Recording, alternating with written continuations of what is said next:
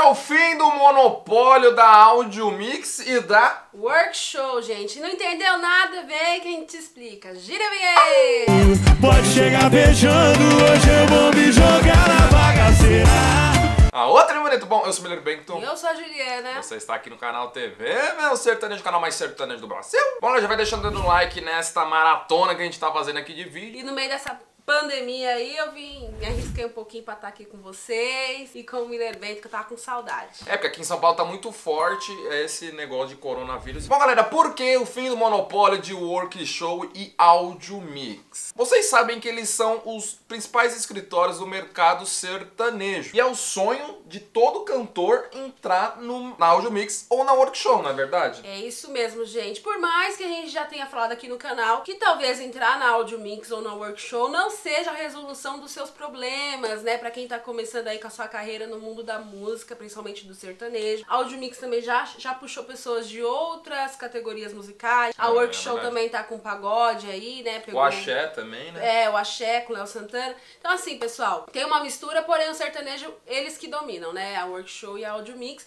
Tem escritórios à parte, que também fazem um bom trabalho, como a NA Produções, da Nayara Azevedo, que faz um bom trabalho. E tantos outros, né, Miller? Exatamente. E é é legal dizer, quando você entra na workshop ou na audio mix, não é certeza que você vai estourar. E isso é válido a gente citar aqui, porque tem muito artista que entra nesses escritórios e às vezes não lança nenhum DVD, não lança nenhum trabalho, fica na famosa geladeira. E assim, gente, quando você quer entrar na workshop é uma coisa. Quando você recebe a proposta de um escritório como esse ou um áudio mix pra entrar, é outra, né? Eu acho que poucas pessoas teriam coragem de dizer não para um escritório desses e a gente vai contar uma história pra vocês aqui. E teve uma dupla que disse não pra esses dois escritórios, rapaz. Pois é, gente. Lembrando que esse vídeo não tem patrocínio, a gente resolveu falar porque é uma história muito diferente. E, gente, entendam que o mercado sertanejo ele é formado por pessoas que fazem a diferença. Bom, galera, o exemplo que a gente vai utilizar nesse vídeo é a dupla autêntica Luca e Matheus.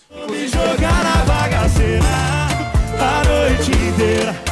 Segunda-feira tem história pra contar, fim de semana. eles não gostam de se rotular dupla sertaneja, não é verdade? É verdade. Luke e Matheus têm uma identidade muito diferente. Muito, muito. Do que a gente está acostumado a ver no mercado. Eles são uma dupla, né? Até o nome Luca e Matheus lembra uma, uma dupla sertaneja. Eles cantam sertanejo. O, eles têm uma voz, assim, maravilhosa. Vocês olham assim e falam, nossa, tá Danada. É, você fala assim, ah, eles vão cantar trap, funk, que precisa de voz, mas não precisa, né, daquela potência. Mas eles têm a potência pro sertanejo também. Então é uma mistura louca, né, que eles fazem ali. A gente foi no show deles, a gente foi no DVD. Eles estão ali no Paraná bem forte e estão esperando chegar no Nacional. Eles já têm uma música estourada, né? Por que o fim do monopólio Audio Mix Workshop? Porque dois anos atrás, acredito que foi dois anos atrás, quando eles estouraram a música Explica Esse Rolê, Sim. que Henrique Juliano, Marília Mendonça, Mário Moraes gravava a History, todo mundo era louco por essa música. Inclusive, eu tenho uma, a gente tem uma história que um grande artista da prateleira A aí do mercado sertanejo pagou, ia pagar uma cifra absurda em cima dessa música e eles não venderam a música. Eles bateram no peito e falaram: não, a música é nossa. Porque a autoria é deles, na- da caneta também, né? Eles são grandes compositores também, metade do DVD deles. Metade? Mais da metade do DVD deles. É, até o empresário dessa dupla compõe. 95%, 99% do repertório do último DVD, que inclusive são mais de 15 faixas, é deles. Mas o pai dela quer saber por que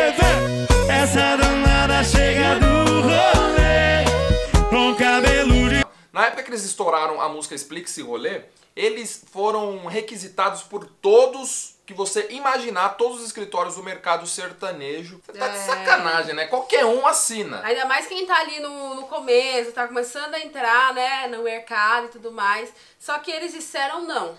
Porque eles entenderam que a identidade deles é tão forte que eles poderiam, de repente, ser moldados da forma que o escritório provavelmente iria estabelecer. E isso poderia cortar muito é, o, o propósito deles, né? Porque eu acho que no sertanejo, se você é moldado, você perde metade do seu propósito. Você vira uma dupla seguinte de outra dupla. E você tem que começar. Você- eles são no- os novos Luke e Matheus. Eles não tentam ser parecidos com ninguém. Exatamente. Tanto é que eles são uma dupla que misturam sertanejo com trap, com funk, com reggae, com rap. Se você for ver o DVD deles, tem essa mistura louca de desses todos esses ritmos e fica um som autêntico, não é verdade? Autêntica. A cara de São Paulo, né? A cara de São Paulo. São Paulo é essa mistura E doida. agora, em 2020, eles fecharam com um escritório que ninguém imaginava. Foi pro caminho menos óbvio possível, que foi o escritório da GR6, que é conhecido aqui em São Paulo, no Rio de Janeiro, no Brasil inteiro, por ser um dos maiores escritórios que administram a carreira do funk. Exatamente, os Gente. principais MCs estão lá. Um exemplo: MC Livinho é um principal, o principal cantor, tá lá. MC Davi, MC Rariel, MC Pedrinho, e muitos MCs Sim. aí. É o principal escritório de funk ali, junto com Condzilla, e é o primeiro. É, É a primeira dupla que canta sertanejo Sim. que entrou aí pro casting da GR6. Gente, isso é muito diferente. Na verdade, a gente fala que é um caminho menos óbvio, mas foi um caminho mais inteligente, porque o funk, ele tá tomando... Aliás, ele já tomou conta do Brasil inteiro, né? E eu acho que o sertanejo, ele precisa realmente... Do mesmo jeito que os escritórios sertanejos puxam é, pagode, puxam o axé, o funk também pode puxar um artista que canta sertanejo. E ele vai, eles vão ser, assim, novidade lá, né? Vai ser uma coisa... E o, o, o legal disso é que eles não se venderam pro mercado, né? Tipo, mesmo oferecendo milhas pra eles, eles não fecharam, eles foram, não, batemos no peito, a gente, a gente sabe o que, que a gente quer, a gente sabe que a gente, qual é o nosso som, qual é a nossa É. proposta e seguiram nisso. A gente não fez esse vídeo pra falar pra você que tá começando, falar, não, digam não para o workshop, digam não para o Mix, porque a gente sabe que isso é muito difícil e é muito injusto falar uma coisa dessas pra quem tá começando. Porém, esse vídeo aqui ele tem o intuito de fazer você entender que você precisa acreditar na sua identidade. Se você se considera diferente dos demais, acredite nessa diferença, não deixa ninguém ditar o que é melhor pra você. Eu acredito que a GR6 vai respeitar muito o formato da dupla Luke e Matheus, né? Tanto é que eles fecharam depois de tanto de tantas propostas, eu acho que essa foi a melhor pra eles. Então, assim, gente, o mercado sertanejo ele precisa de pessoas como o Luke e Matheus, que acreditam na- na- no taco deles, na identidade deles, sem tentar se moldar ou seguir uma pessoa que já tá lá em cima. De várias produções, mil raridade Tá ligado, o nosso rolê é de verdade Qual satisfação da E é isso, gente. A gente adora falar sobre escritórios, é uma parte muito importante para quem gosta de sertanejo. É graças a esses escritórios que existem tantos festivais, que existe o show bonito lá, os repertórios. E a gente acredita em duplas independentes que acreditam no seu formato, na sua identidade. Isso faz muita falta pro mercado. Eu e o Miller Por isso que o mercado tá repetitivo. é, eu e o Miriam, a gente vai pegar alguém pra divulgar aqui, é sempre mais do mesmo. Então, isso merece um vídeo, né? Exatamente. Diferentes. Espero que vocês tenham gostado, deixa o dedo no like, comenta aí o que você achou, rapaz. Se inscreve no canal e segue a gente lá no Instagram. Ó, amanhã tem vídeo novo, hein? Tchau, obrigado! Apertando o botãozinho vermelho. Fomos! Olha, Louco Matheus. Good vibes.